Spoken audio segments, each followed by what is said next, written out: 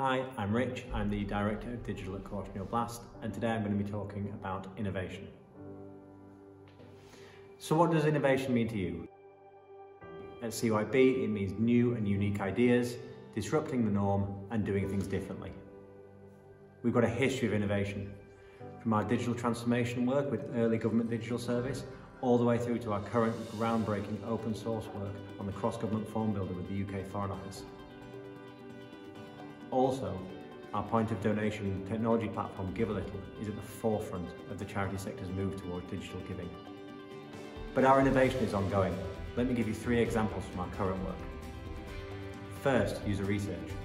We're currently helping our clients develop data and research operational models that will ensure, one, their delivery teams have the timely information to make evidence-based decisions, and two, the information is stored securely and accessible so we can continue to leverage insights in the most efficient way. We've got a really successful background in doing this from our work with a large Swedish company. With the onset of AI, it's even more critical that we have access to quantitative and qualitative data and user research. That's going to be the key to the future of digital. Secondly, engineering. Our brilliant tech team are currently focused on security engineering, which is a really high priority for one of our favourite clients. The team have become experts in writing secure code to extremely high security standards.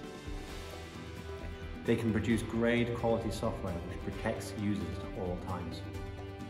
Finally, the team at Give a Little are looking at entirely new ways to accept donations, such as tap on phone, and we're really excited about rolling it out in the future. We're also adding new ways of integrating to charity systems, such as via webhook. Our next video will be talking about user research in more detail, so look out for that. Please get in touch if you'd like to talk about any of the things we've covered today. We'd love to hear from you.